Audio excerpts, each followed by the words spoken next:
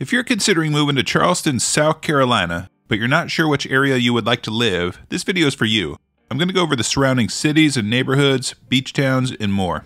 Before we go over each suburb, let's briefly go over some things that you should know about the entire Charleston area.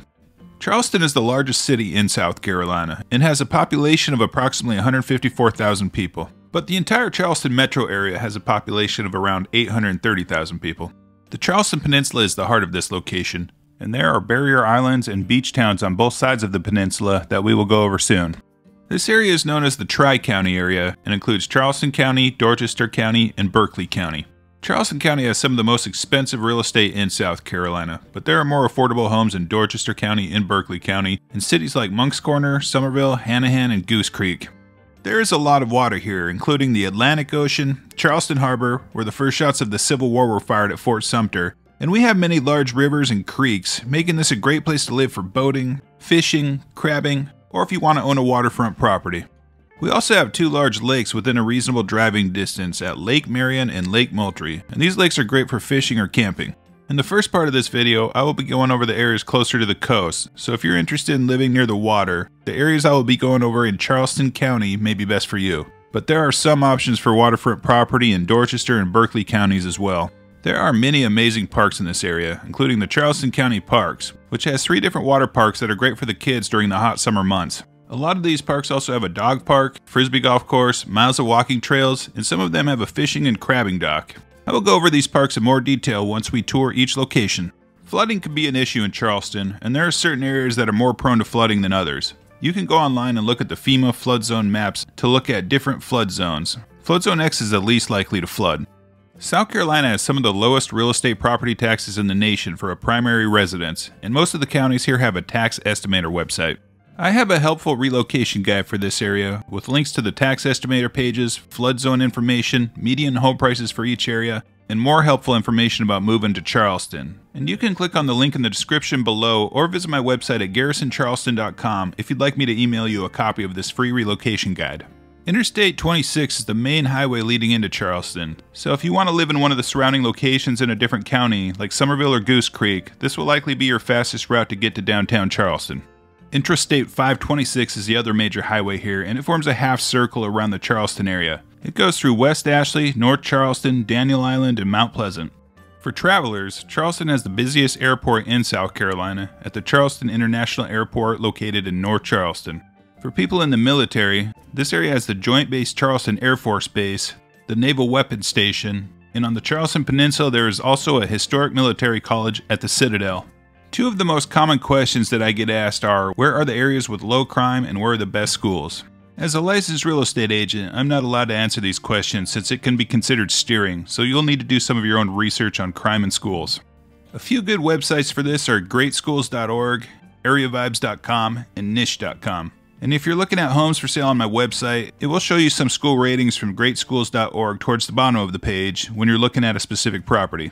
The Charleston area also has a lot of great hospitals. The Charleston Peninsula has large hospitals located in the medical district, including the Medical University of South Carolina, or MUSC, Roper St. Francis Hospital, MUSC Shawn Jenkins Children's Hospital, and the VA Medical Center. Trident Medical Center is another large hospital located in the Charleston area in North Charleston. There are also many smaller hospitals in the surrounding cities and areas. So let's start the neighborhood tour, and we'll begin in the Charleston Peninsula. This is the historic area of Charleston and the site of the original walled-in city. At one point, Charleston had a drawbridge leading into the city. This is one of the most well-preserved historic districts in the country, where you will find many historic churches, the Charleston City Market, a lot of homes built in the 17 and 1800s, and much more. This is a good area to live if you'd like to have a lot of great restaurants nearby and a lot of things to do within a short walking distance. Highway 17 is also referred to as Crosstown, and the peninsula is divided into two areas, north of Crosstown and south of Crosstown. The area north of Crosstown has more affordable real estate and newer homes when comparing it to south of Crosstown. Most of these homes were built in the 1900s. North of Crosstown also has Hampton Park, the largest park on the peninsula, Joe Riley Park, where the Charleston Riverdogs minor league baseball team play their games, and the Citadel Military College. The area south of Crosstown is where you will find historic downtown Charleston, King Street, the College of Charleston, the historic churches, Colonial Lake, and the majority of historic buildings and neighborhoods in Charleston, including the French Quarter and South of Broad. When people think of Charleston, these are the neighborhoods that they are thinking of. This area also brings in the majority of the tourists to the Charleston area, so there will be a lot of foot traffic, vehicle traffic, and horse carriage tours. The beach towns also bring in a lot of tourists every year, so keep this in mind if you'd like to live somewhere near Charleston, but want to stay away from most of the tourists. If you're interested in moving to the Charleston Peninsula, I made a video tour of the entire area and all of the neighborhoods, and you can view this on my website or my YouTube channel. There are no beaches on the Charleston Peninsula, but there are multiple beaches nearby, as close to about 20 minutes from downtown Charleston. The four public beaches near Charleston are Kiawah Beachwalker Park and Folly Beach to the south, and Sullivan's Island and Isle of Palms to the north. A lot of people that contact me want to live near the beach, but not necessarily in a beach town. So let's go over a few areas that are within a close driving distance to the beach, and we will start on the north side of Charleston in Mount Pleasant. I will then go over all the beach towns a little later in the video. Mount Pleasant is a very popular historic area that people are moving to that is located across the Cooper River over the Arthur Ravenel Bridge. It is the fourth largest city in South Carolina with a population of about 95,000 people. Once you get into Mount Pleasant, the main roads are Highway 17, Coleman Boulevard, and Interstate 526 in southern Mount Pleasant. This part of Mount Pleasant is where you will find more established neighborhoods like the historic Old Village, I'On, and is the location of Shem Creek, a great place to get some seafood. Once you get into North Mount Pleasant, another main road is Highway 41, which will eventually take you over the Wando River. There are a lot of communities out this direction as well, including Dunes West, a popular gated and golf community. Mount Pleasant continues to build out towards the north, and this is where you will find the majority of the new construction homes. Properties in North Mount Pleasant are typically more affordable than in South Mount Pleasant, but you will be farther away from Charleston. Mount Pleasant is also home to the USS Yorktown at Patriots Point, Memorial Waterfront Park near the bridge, and Boone Hall Plantation, where my family loves to go to the pumpkin patch every year for Halloween. Mount Pleasant also has a very nice 943 acre park at Palmetto Islands County Park, which has a fishing and crabbing dock, dog park, kayak launch, and a playground for the kids. This is a great park to bring your family. It also has the Splash Island Water Park, a fun place to visit during the summer. There are a lot of golf courses in Mount Pleasant, including Patriots Point Links near Charleston Harbor, Charleston National, Dunes West, and more. There are multiple master plan communities in Mount Pleasant with great amenities. It also has numerous places to go shopping, restaurants, retail stores, the Mount Pleasant Town Center, and grocery stores in the area. There are a lot of things to do around here, so you won't need to leave Mount Pleasant for much. If you move here, you will be near two beaches at Sullivan's Island and Isle of Palms. You can take Ben Sawyer Boulevard to get to Sullivan's Island and the Isle of Palms connector to get down to Isle of Palms from Mount Pleasant. One of the biggest cons about Mount Pleasant is the cost of living, with home prices and rent being more expensive than the next few areas we're about to look at. Alright, let's go over to the other side of the Charleston Peninsula, to the suburb of West Ashley. It is called this because it is west of the Ashley River. West Ashley is actually within Charleston city limits. Like Mount Pleasant, there are more established and older homes on the side that is closer to Charleston, and newer homes the further away you get. But this area is more affordable than Mount Pleasant. The area that is closer to Charleston is sometimes referred to as Inside 526, since it is inside the interstate, and the area further away is known as Outside 526. West Ashley is the location where the city of Charleston began in 1670, located at Charles Towne Landing. The settlers would move to the Charleston Peninsula about a decade later to what is now the historic district of Charleston. West Ashley is also the location of a few different historic plantations, including Middleton Place, Drayton Hall, and Magnolia Plantations and Gardens, all located along the Ashley River. Highway 17 goes through West Ashley, and I 526 also runs through this area. Other major roads in West Ashley are Sam Rittenberg Boulevard and Highway 61. On Sam Ritten Boulevard, you will find a lot of commercial stores, grocery stores, and retail shops. This road will eventually cross the Ashley River, and you can get to I 26 from here. You will find the historic plantations along Highway 61, and this road will eventually lead you into Summerville. West Ashley is bordered by the Ashley River, Stono River, and Wappoo Creek, so there are a lot of waterfront communities located here. There are several miles of biking and walking trails, some paved, at the West Ashley Greenway and the West Ashley Bikeway. The Shadow Moss Golf Course is also located in West Ashley. There is a 260 acre city park called West Ashley Park with a playground, athletic fields, basketball court, baseball fields, a fishing area, and disc golf course. There is also the Stono River County Park before you cross over into Johns Island, and this is an 85 acre park with great marsh views, trails, and a boardwalk that leads to an island in the Stono River. The area that some people refer to as the downtown of West Ashley is called Avondale. and there are some good restaurants, shops, and bars located here. You will be able to get to downtown Charleston very quickly from this side of West Ashley as well. The entire West Ashley area also has a lot of shops, restaurants, retail stores, grocery stores, a Costco, and the Citadel Mall. If you keep going down Savannah Highway past West Ashley, there are some rural towns out this direction, including Ravenel and Hollywood. This may be a good location for you if you're looking for a home with acreage. West Ashley is a good option for people that want to live near the Charleston Peninsula and have a beach within a reasonable driving distance. You will have Folly Beach and Kiawah Beachwalker Park on this side of Charleston, but you will need to drive through either Johns Island or James Island to get to these beaches. So let's go over these areas that are a little closer to the beach towns. James Island.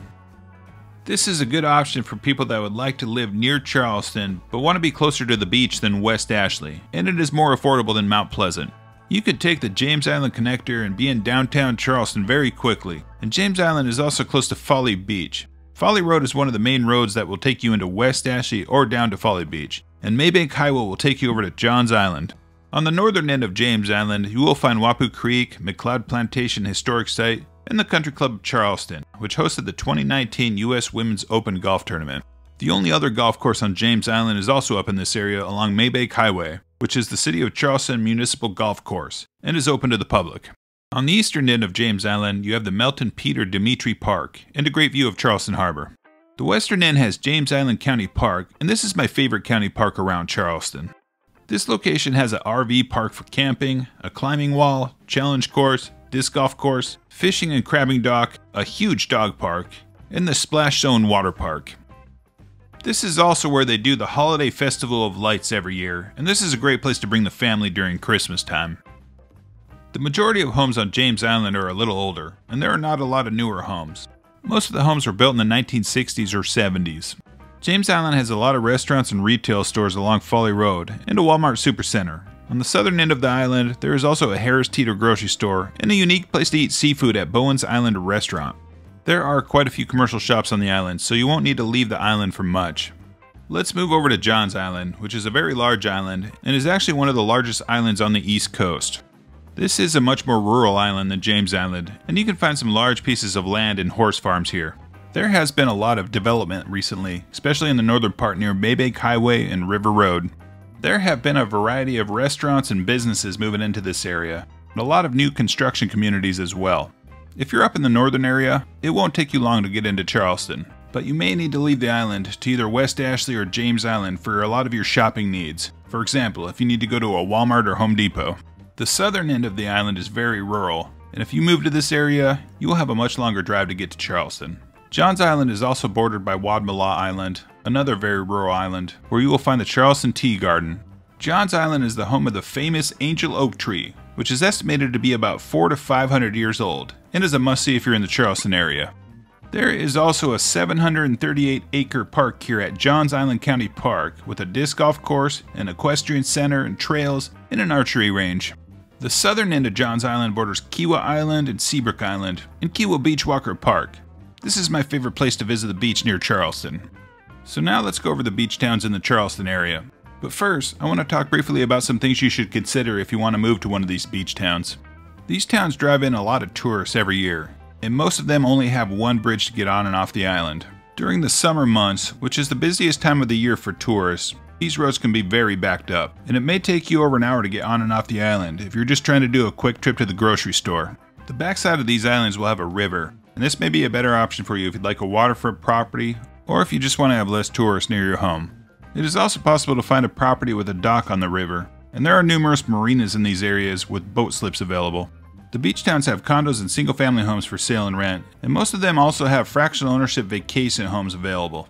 This may be a good option for you if you're planning on vacationing near Charleston for part of the year, and I will put a link for fractional ownership homes and beach homes for sale below. Charleston has three resort style gated and golf communities in this area, located at Wild Dunes on Isle of Palms, Kiawah Island, and Seabrook Island. Kiawah Island and Seabrook Island are two separate communities, but they are in the same area on this side of Johns Island. This is an amazing area if you want to live near a resort style community with a lot of golf courses nearby. Kiawah Island is a much larger island than Seabrook. and has about 11 miles of beaches, 5 golf courses open to the public, 2 private golf courses, and is the location of the Ocean Course, where Phil Mickelson became the oldest player to win a major at the 2021 PGA Championship. Seabrook has about three and a half miles of beaches and does not have a public beach access site. Seabrook has two golf courses and has a lot of amenities, including a lake house, tennis courts, oceanfront pools, fishing dock, great dining, and an equestrian center that offers horseback riding along the beach. Since you need to cross Johns Island, you are going to be more secluded on these islands. It takes a while to get to Charleston from here, and it's about a 45 minute drive to downtown Charleston. And there are not a lot of amenities on the southern end of Johns Island. There is a location between Seabrook Island and Kiawah Island known as Freshfields Village, where there is a Harris Teeter grocery store, some restaurants and shops. There is also the Bohicket Marina in this area. Let's move over to Folly Beach, which is the closest beach to downtown Charleston. Folly Beach is a public beach and is a fun little town with a lot to do nearby. There is a pier which is great for fishing, many souvenir shops, restaurants, surf shops, and bars in the downtown area, all within a short walking distance to the beach. There is also a county park on the southern end of Folly Beach, and on the north side you can view the Morris Island Lighthouse, which was built in 1876. The lighthouse was originally built on land, but is now offshore due to erosion. Folly Beach has no large grocery stores, but it does have a market open 24 7 located at Bert's Market. There is a Harris Teeter grocery store nearby on James Island, but it may take you a while to get there during tourist season. There are no golf courses on the island, and the closest is on James Island. Alright, let's go to the north of Charleston again, to the two beach towns near Mount Pleasant. Sullivan's Island is a very nice little beach town and has the most expensive real estate for sale out of all the beach towns. It is a small island and only has about two and a half miles of beaches, but the beaches here are great. My favorite place to visit the beach in Sullivan's Island is near Fort Moultrie, which played a pivotal role in the Revolutionary War. South Carolina got its nickname as the Palmetto State due to the battle here against the British. At the time, the fort was constructed out of palmetto logs when the British fleet attacked. The palmetto logs absorbed much of the cannonball blasts, and the Americans repelled the attack. There are no golf courses on Sullivan's Island and no large grocery stores. Sullivan's Island does have a lot of good restaurants on the island, including Poe's Tavern, given the name because Edgar Allan Poe once lived on Sullivan's Island, stationed at Fort Moultrie. Sullivan's Island also has a preserved maritime forest, a lighthouse, no hotels, and has less commercial property than many of the other beach towns. Over the bridge from Sullivan's Island is Isle of Palms, which has much more commercial property than Sullivan's Island.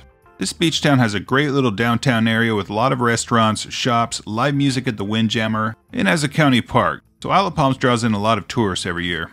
Similar to Folly Beach, Isle of Palms has a lot to do within a close walking distance to the beach. This island also has a large grocery store at Harris Teeter, which is great if you don't want to leave the island. There are two golf courses in Isle of Palms, located in the gated resort style community known as Wild Dunes, on the northeastern side of Isle of Palms. This is a great beach community with a lot of amenities, a marina, hotels and restaurants, and beachfront property available. One of the best things about Wild Dunes, when comparing it to the other resort style communities located at Seabrook Island and Kiawah Island, is a close proximity to amenities. Wild Dunes is located closer to downtown Charleston than the other two, but also has Mount Pleasant nearby so you will be closer to shopping and some other amenities than on Kiawah and Seabrook. Alright, that was all the beach towns, so let's move up further away from the coast to Daniel Island. This is a very unique and beautiful master plan community in Charleston, and you won't find any other neighborhoods like it in this area. Daniel Island is situated in between the Cooper River and Wando River, and it offers residents stunning waterfront views, many miles of trails, a marina, golf courses, recreation center, and has several parks in the area, including Governor's Park and the waterfront area, which has a community dock, fountain, and the Daniel Island Ferry, which will take you to downtown Charleston. There is also the Daniel Island Club, which has two beautiful private golf courses, resort style pools, tennis courts, a cabana bar by the pool, and many other amenities for its members. Daniel Island also has the Credit One Stadium, which hosts many concerts and events, and the Credit One Charleston Open, which is a professional women's tennis tournament. You can get to Daniel Island from I 526 from North Charleston or from Mount Pleasant. Clements Ferry Road will also take you to the Wando area, and there has been a lot of development out this direction. This road will eventually connect to 41, which crosses the Wando River into Mount Pleasant. North Charleston. This city covers a large area and is the third largest city in South Carolina with a population of around 119,000. There are parts of it in Charleston County, Dorchester County, and Berkeley County. The city is bordered by the Cooper River to the east and the Ashley River to the west. North Charleston borders the Charleston Peninsula on the southern side, and Summerville, Hanahan, and Goose Creek further to the north. The main roads and highways are I 526, Interstate 26, Rivers Avenue. Then on this side is Dorchester Road that has a lot of communities along the Ashley River. These waterfront communities are typically more affordable on this side of the Ashley River than across the river in West Ashley. There are homes with a private dock located here, and some neighborhoods with a community dock. Dorchester Road will eventually lead into Summerville. North Charleston is the location of the Charleston International Airport. There are a lot of places to shop in the city, including Northwoods Mall and Tanger Outlets. Close to Tanger Outlets is the North Charleston Coliseum and Performing Arts Center, where they do a lot of concerts and events, and this is where the Stingray hockey team plays their games. The downtown area of North Charleston is known as Park Circle, and there are a lot of good restaurants in this area. There is also a park located here with picnic tables, baseball fields, a disc golf course, and they just finished a huge playground for the kids. Along the Cooper River, there is also Riverfront Park, this park has a great water view, and there is also a memorial for the Charleston Navy base, with some historic homes once occupied by naval officers. Further to the north is another great park called Wanamaker County Park. This is a large 1,015 acre park that has miles of trails, multiple picnic areas, boat and bike rentals, volleyball courts, a dog park, a disc golf course, playgrounds, and a large play hill for the kids. There are really no hills in Charleston, so this is unique for the area. Wanamaker County Park also has the Whirlin' Waters Adventure Park, a great place to bring the family during the hot summer months. There are a couple colleges in North Charleston at Charleston Southern University and Trident Technical College. Trident Hospital is also up in this area, near the interstate. Summerville. This is a very popular city that people are moving to in the Charleston area, and the homes for sale in Summerville are much more affordable than in Charleston. There are many new construction master plan communities with great amenities, but there is also a historic district with beautiful older homes. Summerville has a nice little downtown area with bars and restaurants, boutique shops, and the world's largest sweet tea. The city is actually known as the birthplace of sweet tea, which is very popular in the South. Summerville covers a very large area, and some of the main roads that go through here are I 26, Highway 61, which leads down into West Ashley, Dorchester Road, or 642, that leads into North Charleston, alternate Highway 17, also called 17A, which runs through the downtown area of Summerville and will also lead you out to Moncks Corner, and Highway 78. On the other side of Summerville is Highway 176, and this is where you'll find Cane Bay Plantation. Nexton is also in this area, and these are two very popular master plan communities. Nexton Parkway goes all the way from 176 back to I 26, and there are a lot of new construction homes here. Highway 176 also has a Publix grocery store, some restaurants, a Roper Berkeley Hospital, and if you drive down into Goose Creek, there is a Walmart Supercenter. There are some great restaurants out in this area, including Hall's Chop House and Taco Boy, located at Nexton Square off of 17A. There are three public golf courses in Summerville at Legend Oaks, the Club at Pine Forest, and at Wescott. There are also three YMCAs, plenty of grocery stores and amenities, and a small section that sits along the Ashley River. Some parks in Summerville include Azalea Park, historic Fort Dorchester State Park, and Ashley River Park.